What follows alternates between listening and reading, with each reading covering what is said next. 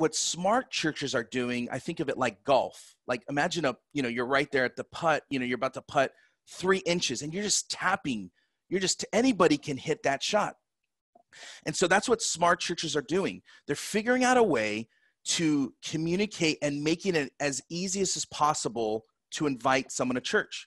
And the way that we've done that is through content. If you look at anybody that we look up to, Nils, like, you know, authors, speakers, communicators, the one thing in common that they've all done is created content. And content is the thing that I think builds trust fastest.